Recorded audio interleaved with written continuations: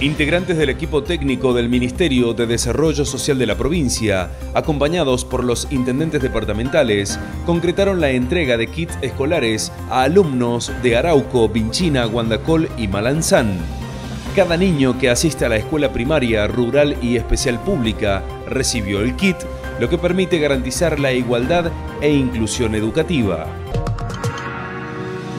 se concretó la apertura de sobres de la licitación para la construcción de cuatro badenes y tres alcantarillas en el camino hacia la localidad de Ñoqueves, en el departamento Rosario Vera Peñalosa.